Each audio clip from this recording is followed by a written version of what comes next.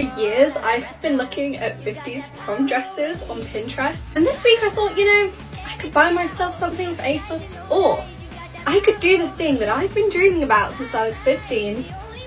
and buy myself a proper 50s prom dress.